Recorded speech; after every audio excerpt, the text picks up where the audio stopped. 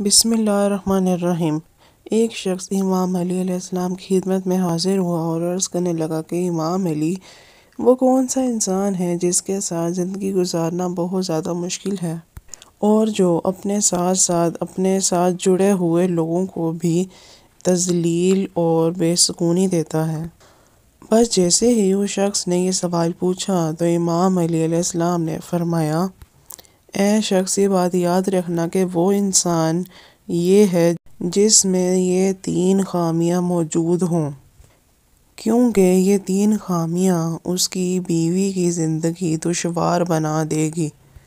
پہلی خامی کہ وہ نامحرم کو گندی نگاہ سے دیکھتا ہو اور دوسری خامی کہ وہ خود کو ہمیشہ صحیح اور اعلیٰ اور دوسروں کو غلط سمجھتا ہو۔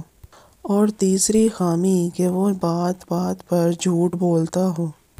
یہ بات یاد رکھنا کہ جس انسان میں یہ تین خامیاں پائی جاتی ہیں، تو اس کے ساتھ رہنے والے دوسرے انسان رسوائی اور پریشانیوں کا سامنا کرتے ہیں۔ تو وہ شخص کہنے لگا کہ یا علی، میں یہ بات کیسے پہچان لوں کہ کس شخص میں یہ خامیاں موجود ہیں؟ تو امام علیہ السلام نے فرمایا اس خامی کی جڑ خود کو محترم اور دوسروں کو حقیر سمجھنا ہے۔ تم جب بھی کسی انسان سے ملو تو یہ بات غور کرو۔ تو یہ دیکھو کہ جو لوگ اس سے حیثیت میں کم ہیں، وہ شخص ان کے ساتھ کیسے برتاؤ کرتا ہے، ان سے کیسے ملتا ہے؟ اور جو لوگ اس سے حیثیت میں برتر ہیں تو ان سے کیسے ملتا ہے؟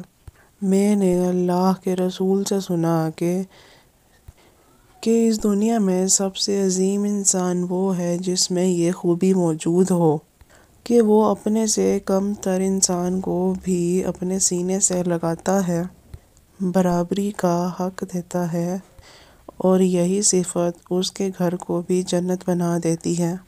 اس کی زندگی کو رونق دیتی ہے اور آخرت میں بھی انعامات کا سبب بنتی ہے۔ امید ہے آج کی ویڈیو آپ کو اچھی لگی۔ پلیز میرے چینل کو سبسکرائب کیجیے اور بیل آئکن دبانا مت بھولیے گا۔ شکریہ۔